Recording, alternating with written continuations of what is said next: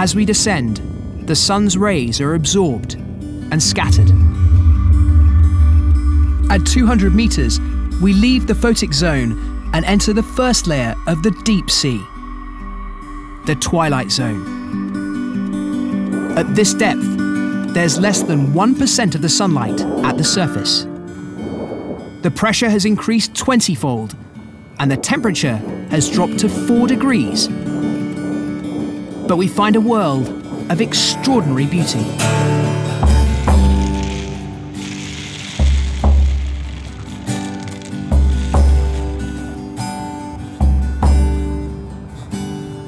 With nowhere to hide in the twilight zone, the best disguise is transparency. Like this squid with a delicate glass-like body.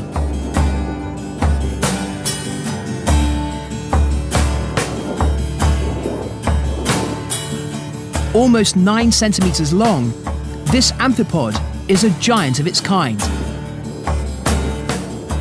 It's completely transparent apart from its two enormous eyes and central nervous system. Another peculiar crustacean lives like a hermit within the stolen body of a jellyfish. This shell also houses her offspring. Her habit of pushing this protective shell around has led to the nickname of pram bug.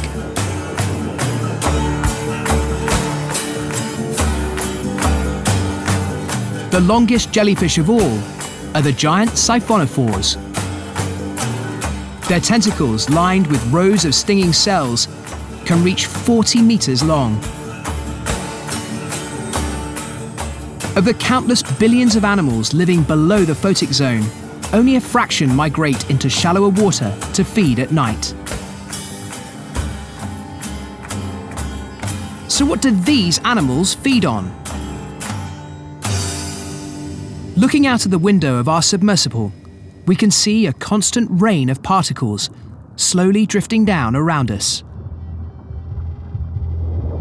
Known as marine snow, this is a vital food source for everything living below 200 metres. It rains down from the sunlit waters above,